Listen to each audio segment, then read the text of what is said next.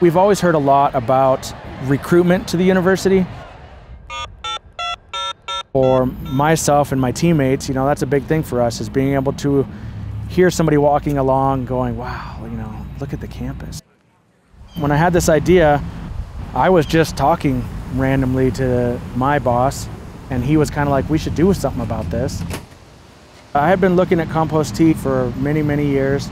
Guys like me, we are always trying to benefit the soil and find ways to increase that life. The tea is made from vermicompost, actually red wiggler worms. What they secrete is vermicompost, and so that's what actually inoculates the soil with all the good microbial and bacterial life. Trying to find a way to inject something that's living into a system without the creatures being destroyed in the process. But I, I never had known that there was this kind of support from the university. Uh, really increased my view of how the employees are looked at. Inventions can come from anybody on campus. It doesn't have to be a researcher. I had a desire to learn what was going on with this compost tea. There's a lot of questions about, is it just brown water? You know, is, it, is there really anything to it? Is anything even alive in there? So right now we're doing a big research project.